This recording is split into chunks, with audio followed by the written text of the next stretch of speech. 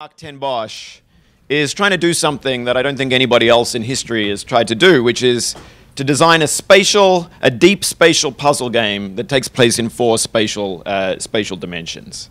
So his game, uh, called uh, Miegakure, is, am I pronouncing that right? Is that all right? Um, it's still a work in progress, and it's still deeply uh, shrouded in mystery, much like uh, Marc himself. But another person who's deeply shrouded in mystery, uh, Jonathan Blow, has already called it uh, one of the great puzzle games of all time.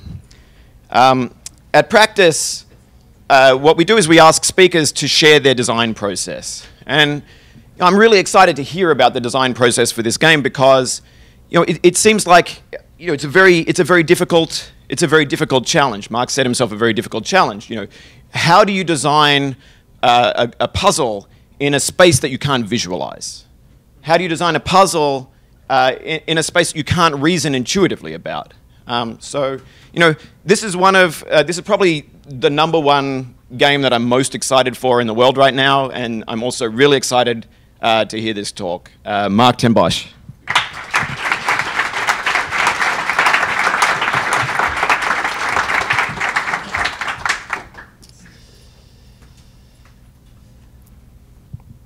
Hello. Okay, so this is my talk. Is the mic okay? Yeah. Um, it's called Exploring and Presenting a Game's Consequence Space, uh, aka how do you find out what is cool about a 4D game and how do you make it so people can understand. Um, so Miegakure is a 4D game. Bennett talked a little bit about it. Uh, you know what a 2D game is, you can only move in two directions. You know what a 3D game is, you can only move in three directions. So what is a 4D game when in a 4D game you can move in four directions? Uh, and I'm not talking about time here, it's just like one more dimension of space. Uh, and so computers don't care how many dimensions they are, they're just storing one number per dimension, so we just have to find a way to display them, essentially. Um, and this uh, diagram at the beginning kind of shows this idea where like you take a point, you move it, uh, find the space that it creates, it creates a line, and you can do that again, and makes a square. Do this again in one more dimension perpendicular to the first two, you get a cube, and if you do this in, a, in another time, then you get a hypercube, a 4D cube. Uh, and I'll talk more about what the game is in a second, because uh, you kind of have to know what it you know, how it works. So this is what it looks like. If you've already seen the trailer, I'm sorry, I'm gonna like go through this again. Um, but so I'm gonna talk about like one thing that you could do if you could move in four dimensions. So if you have this wall and you can't go around it and you can't jump over it, but um, if you could move in 4D, you could go around it in the fourth dimension. So that's kind of what it looks like. And then you're in this parallel world where the wall is gone and it's just rubble instead. So I have to explain a simpler case first of what if you were a 2D character in, in, you know, in this 2D environment and you wanted to get to the other side of that wall, but you can't jump over it, right? But it turns out that you're actually, even though you are 2D, the world is 3D, and you're stuck on a two-dimensional plane within this 3D world. And you could just sidestep around the wall, but how do you do that since you're like a 2D character? So you can press a button and turn the plane that you're on by 90 degrees, so that now when you're moving this way, it doesn't mean the same thing anymore. It means moving along the third dimension. And so when you're further along the third dimension, you're in this parallel universe, essentially, where you can't see the wall anymore, but maybe you can see some rubble that fell off from the wall. Uh, and you can just, you know, sidestep the wall, like go, go past the wall, and then Press the button again to turn back to this view where you see kind of both worlds at once and go back to the world you came from and now you're on the side of the wall. Like, wow, big miracle. For us, it's nothing, but like for this guy, it's like this miracle, right? Um, so um, so you're you know like he's 2D so he can't like move the camera out like we can and he's stuck in this plane so when the plane turns it looks like the world is deforming but really, all you're doing is you're taking slices, like cross sections of the world, like kind of like an MRI. Um, so there's this right. There's like the you can't see the the the wall at all unless maybe you're like rotated and you look along the third dimension. Uh, and you know, you you have this view where you see both worlds at once, and you go back to the, the grass world, and you're on the other side. Okay, so instead of being stuck on a two-dimensional plane within a three-dimensional world, what if you were stuck on a three-dimensional plane within a four-dimensional world? What if there was a fourth dimension that you couldn't see? So now I've pressed this button, and I've rotated the 3D plane by 90 degrees, so that um, when he's moving like this way, it doesn't mean the same thing anymore. It means moving along the fourth dimension, just like in the previous case was moving along the third dimension. Uh, so you can move like very similarly to this like other PAL universe where there's rubble where the wall used to be, and you can just walk right past the wall, right? Um, and then, you know, you'll come back to this view where you can see both worlds at once and then head back to the grass world. And that's how you go around walls using the fourth dimension. Okay. So this sounds kind of complicated sometimes, but uh, I just want to say really quickly that I've done tons of playtesting at PAX and everywhere else, and it plays like a video game. It's fine. um, so, um, so okay, Itay and Anna covered a lot of what I wanted to like introduce the talk with, so that's good. I don't have to talk about this. So, but I just want to talk about briefly about this kind of thing that like I care deeply about like in my aesthetic for game design. So if you have a video game, you pick an abstraction level for each part of your video game.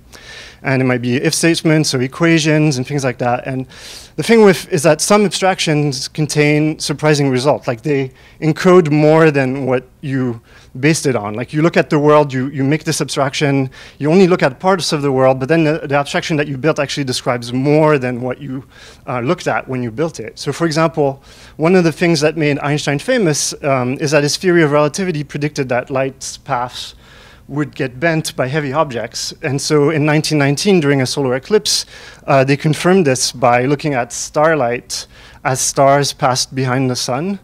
Um, and so this effect is like you know, I care a lot about this as, as a designer, and games are naturally explorations, and I kind of want to embrace that.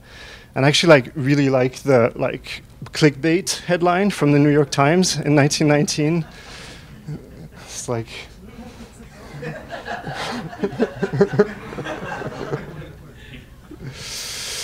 um, okay, so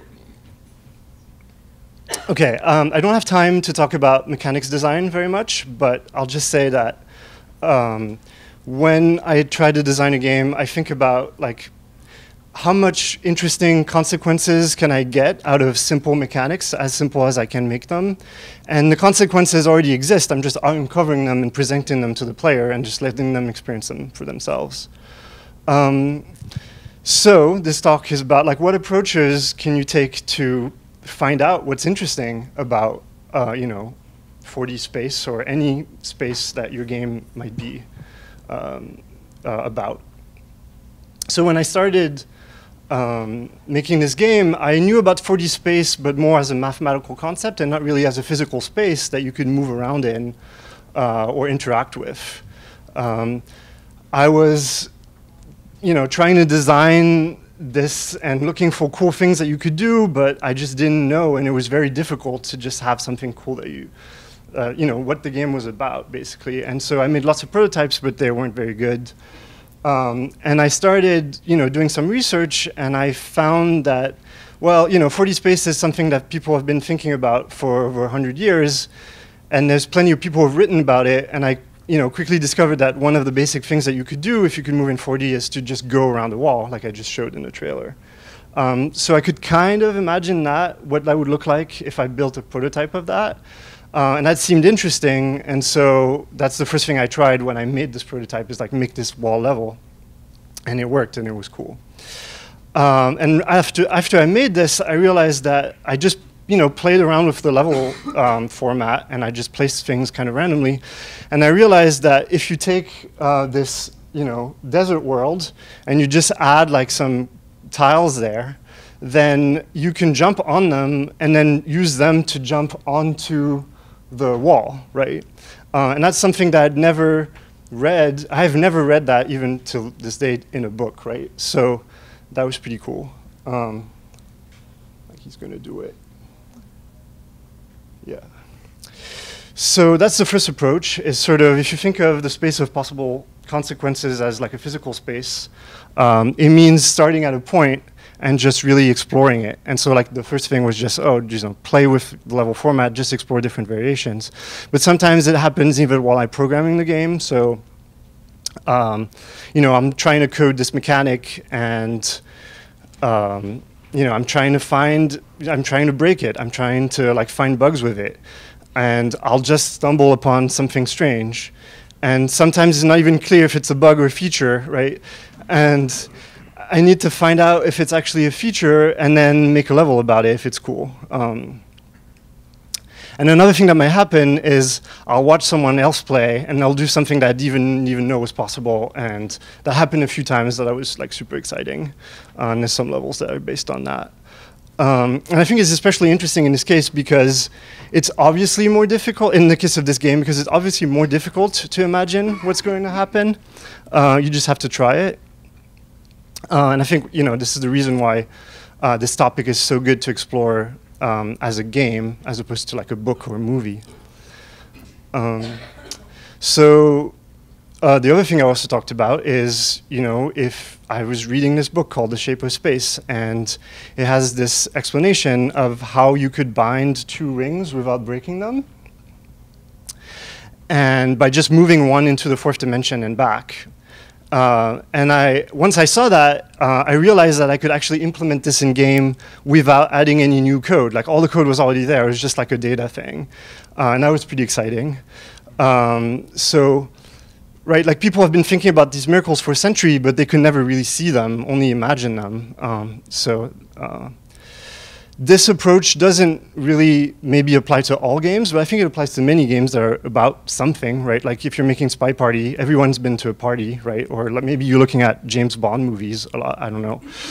Um, so the third approach that I used was what I call the combinatorial approach, which is sort of laying out a grid over the space and thinking about different points along that grid. So that might mean looking at pairs of mechanics or looking at all possible shapes or position of blocks. Um, and I think you know, some representations are more fruitful than others, but it, it, helps to look at mechanics not simply as arbitrary gameplay elements, but something deeper and more fundamental, like maybe looking at the math you use to represent them. And I'll try to explain what I mean by that.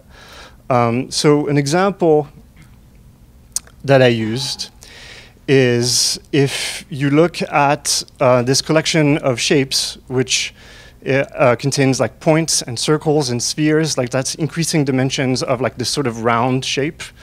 Um, and you know, you look at combinations, like what levels can you make by looking at combinations of those? So if you have two circles, that's the ring level that I've already shown. If you have like two points, that's two blocks. That happens a lot in the game. If you have a sphere and a point, uh, in 4D, you can take the point outside of the sphere by moving it in 4D.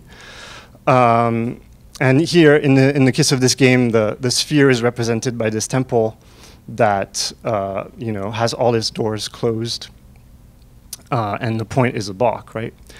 Uh, and then if you have, if you're trying to build a, a chain, um, you know, link chain, in 4D you have to build it out of um, spheres and rings, like because two rings they're not actually attached, right? Uh, like I showed in the, in the previous case. Um, so there's a level about that, and that's pretty cool. Um, this diagonal is interesting because it's actually all the things that you can't, you know, that, that are linked together in 3D but not in 4D, and everything past that is things that are linked in 4D, uh, and you can't unlink even in 4D. And this works for any dimensions. And also you can make a 3D table uh, if you wanted to explore things like that. And I, I just I want to emphasize that like I'm looking at broad categories, like not details of like particular shapes of things or like the size of the ring, things like that. It's just like kind of broadly exploring like what's cool about the 4D, right? Um, another example is looking at various directions um, for uh, you know, just that the block can be along or that a level can be along. So like directions are obviously very fundamental in any game and very mathematical. And so the case of Miegakure is especially interesting because one direction is special uh, since you swap it with the fourth dimension, or like you're rotating it, you're rotating and using that dimension especially. Uh, and you see like that's where the deformation comes from. It only happens in one direction. So if I just rotate the level 90 degrees, it changes the experience of uh, that the player has playing it a lot, right? Like, and those those two videos are the same level, just like rotated 90 degrees. Um, right. So like one's like much faster than the other, but uh, one tells you more, kind of. So other games do this too. Like I was just thinking about Meat Boy and how heavy level is like this very particular uh, thing. And I think, you know, you can look at combinations of mechanics, but I think it's more interesting or more fruitful to look at how mechanics combine with each axis. So like if you have the, you know, the horizontal axis that's like running and, and jumping, if you have the vertical axis that's uh, wall jump or just, you know, going up, and you can see how each mechanic interacts with it and how it makes a level that's kind of interesting. It's like looking at fans, you know, moving you up or like looking at fans like running against them. Um, and, and I wanted to use a, an example that's not a puzzle game. So the last approach that I used uh, is what I call the top-down approach. So all the previous ones were kind of bottom-up because you were in the space kind of looking around uh, for, for, something cool. But this is more like, oh, you know that, you, that something uh, would look super cool, but you don't know how to turn it into an interesting level. And that's like kind of the hardest, but the most rewarding if you succeed, I think. Um, so like the way that I think about it is sort of your, uh, if you think again of, about the space of consequences, is like you're kind of being parachuted from this airplane and like trying to steer yourself and like find like somewhere to land that's cool, but it's like really hard to do. Um, and like I think a lot of triple A games are made like this, and they only get one jump, which is why they kind of are hit and miss, maybe. Um, so for, for this case, like I think one thing that helped me a lot was expressing the cool thing in the system of the game or the mathematical representation of it and you know trying a bunch of representations until I find something that I that, you know that connects to something interesting. And uh, I had this really cool thing that I wanted you to interact with in the game, but I didn't know uh, how to make it interesting for a really long time. And I realized like once you see it as a ring, then it becomes like super clear how it's interesting and cool, and so that that was interesting. Uh, so okay, you found I found all these like interesting consequences, and now I have to present them to the player. And you don't want a player to miss what is interesting about the situation, or you, there was just kind of no point in like even finding it. Um, and I think that's when the game starts needing puzzles, right? Because if the situation involves lots of thinking, then that's going to become a puzzle game. If the situation involves lots of reflexes, or you know, it becomes an action game like Super Meat Boy or something. And uh, I tried to remove action game elements from Miegakure because you can already see, like even in a 2D case, that you can't see the whole world at once, right? Like you're either in, in this case, uh, in you know, the grass world or the desert world, or maybe in this view where you see parts of both worlds at once. And so anything, like it just takes work and effort, like time to just move around and look around and see where things are. And by the time you know this, like maybe things have moved already. And so it's useless. And um, so that's why I try to remove um, a lot of things like that from the game, or in general, make them predictable uh, the, their motion predictable. And also, I mean, this is pretty obvious, but like, you know, I want to explain the game non-verbally, even if it means like people are a little bit lost at first. That's okay. That's just what I feel like games should be about. Um, so, and also another note is that the space around the situation is really what's interesting, not the solve state, uh, well, most of the time. So failures give as much information as successes.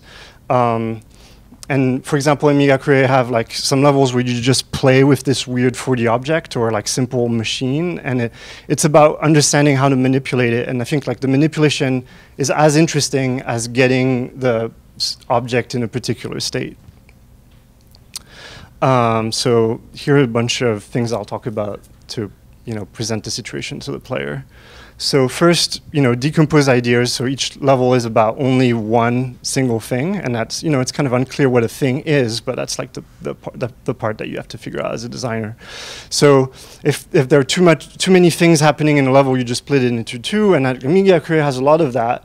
Just in the obvious case of I want to teach concepts like pushing and jumping, like wh which jumps can you do, which ones can't you do, um, and it has like these 3D only levels that. Um, where people can't really think, oh, I'm doing this wrong because of some 4D thing that I'm not understanding yet. And uh, it's just 3D, so you know if you understand pushing or jumping on its own. Uh, and then obviously, since you're like separating each puzzle into its own ideas, then you have to think about sequences and how they teach concepts. Uh, uh, one after the other, or like relationships between situations. Like that's a screenshot of the witness who does like pretty obviously in this sequence of panels. Uh, and the way that I approach this is I, I just made all the like most of the puzzles. Well, I make a puzzle first, and then I don't really think too much about how hard it's going to be, and then I arrange them by all the puzzles by difficulty, and then I find gaps, and then maybe like fill in the gaps uh, if the difficulty ramp is too high but just like making the puzzle just about the consequence and not about thinking about what, what the difficulty might be. And so um, my puzzle design method is to reduce the number of steps needed to complete a level, like because you want to remove arbitrary steps because they're boring to do, uh, and they're not about the thing that you're trying to show. Um, but also, I think it's good when a puzzle is simple to execute once you know what to do, right? Um, and so, but you also want a low chance of randomly solving the puzzle. So uh, to do that, I increase the number of possible states. So uh, there's lots of ways to get lost, to like do something that's wrong, and uh, then you have to reset and like do it again. Um, and you need to understand the space well enough to know what the right steps are, and there are tons of possible state that you can be in. And it's kind of a ratio between number of steps versus like space of the puzzle. Uh, and so in the quest to remove arbitrary step and make each level about a single idea, I try to make levels as small as possible, but uh, really what matters even more than size is whether or not they can be compressed uh, in the player's head. So the tempo level is um, five by four by some height by four worlds. Um, and instead of two worlds, like in the wall, the wall level, uh, but most of them are basically empty, right? Like the only the only the temple one has something in it. Um, and that makes e them easy to store in your brain. Like you just can, you know, hold that, and that's easy. It's like as opposed to having like tons of blocks lying around that you have to avoid and things like that. Um, and that's I think like the core of what Miegakure is about is. I don't want you to move around and like look at all this stuff all the time. I want you to hold the entire level in your head because it's simple and uh, and small and solve the puzzle that way, which I think is like really thinking in 4D as opposed to just kind of moving around and trying random things. Um, so uh, caveat to that is that some levels are so simple that um, it's really hard to make them difficult to brute force. Uh, it just makes them um, feel dirty or like too complicated for no reason. Um, so like on the right is like this puzzle from Braid that's like really simple to brute force, but it's still interesting. Um, and Miegakure has has a bunch of these puzzles, but it even has like extreme cases where like it's just about looking at a cool shape, like it's not even a puzzle. So like on the on the left. Um, so, but I think if you do this and you have if you have simple levels that can be brute forced, it's really important to build levels after that where you actually have to understand what's going on and you've built this knowledge um, to solve more complex puzzles. And that's very important to me. So uh, there's, there's, I think that there's some games that don't do that as much as they could. Um, so I have this simple level where you just push a block one time, once in for each direction, and uh, just to get people used to the idea and notice something cool that happens when you do that. And I have more complicated levels that use this consequence later. And the consequence was simple, but it wasn't simple enough that players could do it at the same time as something else. And it took me a while to realize that and like split these two ideas together. Um, that said, I think many players solve problems intuitively unless they're forced to do otherwise.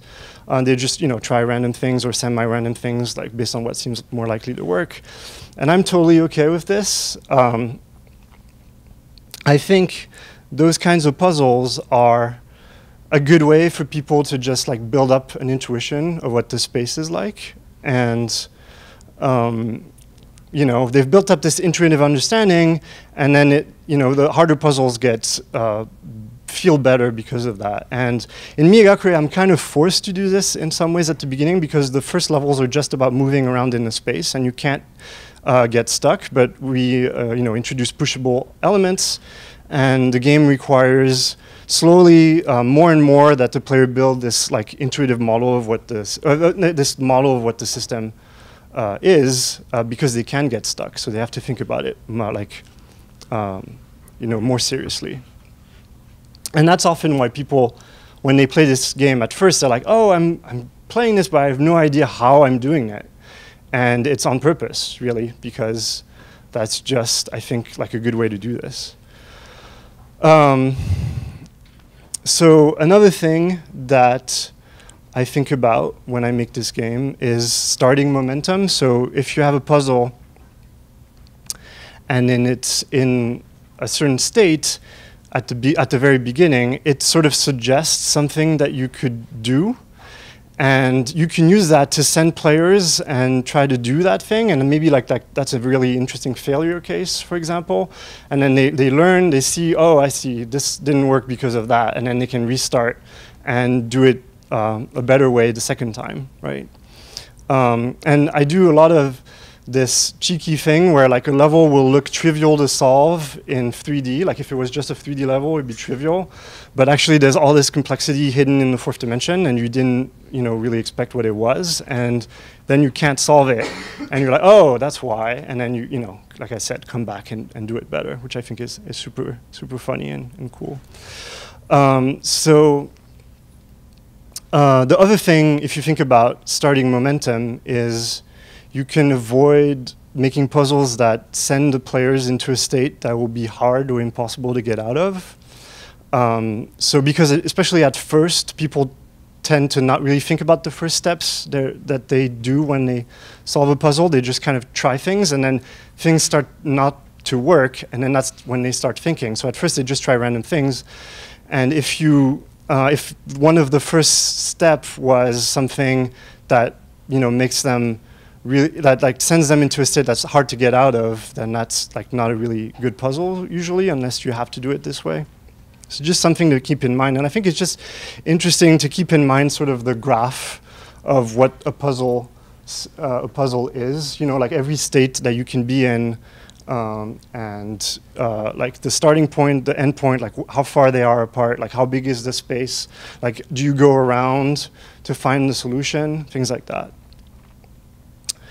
So um, I want to end with um, this idea. Well, you know, I've showed kind of like how I explore um, the space of of Miegakure, um, but I, a lot of the puzzles in this game, even if they're hard to brute force, they're only puzzles really because we can't see in 4D. Um, and I think that's like, that actually makes me really happy because I'm not really interested in making a puzzle game because I like puzzles in general. I'm really interested in the fourth dimension and just puzzles are a natural way that come out or like they're a good way to present it. Um, and it makes for very pure puzzles that are very simple and very interesting, which I, I think is very beautiful. Um, and right, like each puzzle is about trying to teach you something about the 4D from a different perspective, essentially. Uh, the important thing is the underlying system. That's it. Thank you.